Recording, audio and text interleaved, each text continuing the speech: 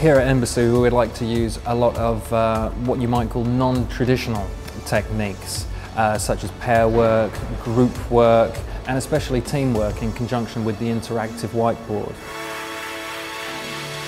You might sleep like look. Look, yeah, maybe yeah. L O G. Yeah, good. When we uh, teach 21st century students, we have to teach in the 21st century classroom. Technology we use in the classroom is integrated to the technology students use in their day-to-day -day lives.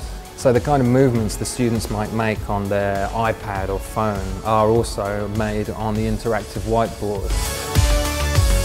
What relative pronoun should we use here? Anybody? Which. Which, good answer. The interactive whiteboards uh, are amazing because that help us to have fun learning English. It's really interactive and really good way to learn English.